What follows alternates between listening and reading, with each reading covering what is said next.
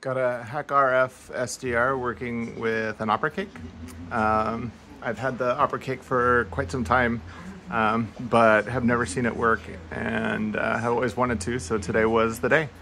Uh, it's a GreatFET on top, uh, not being used for anything right now, uh, but I did need to mount the headers, um, so it's just on there from that.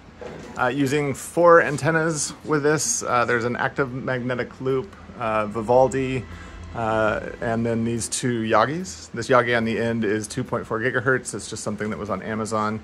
Um, I've got this on 2 meter and 70 centimeter. It's only tuned for 70 centimeters, so the 2 meter is not going to work very well.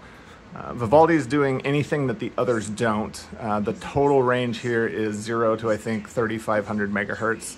Uh, so this is doing the lion's share of the sweep, uh, and this is doing any shortwave HF uh, stuff.